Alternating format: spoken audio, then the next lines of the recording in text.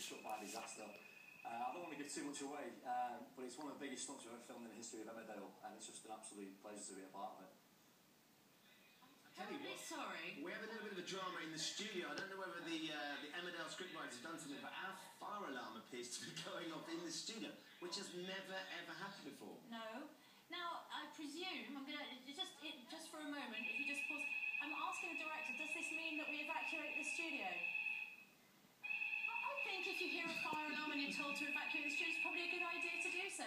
Just going to check we have uh, a little bit of sta- standby tape to run while we do that. Charlie, can you hear the alarm going off in your ear? We can, it's can. very loud. I'm looking forward to taking this out. Are you sure you guys aren't in the village? Well, uh, It's all Sadly- because of the drama on Emmerdale. Well, thanks so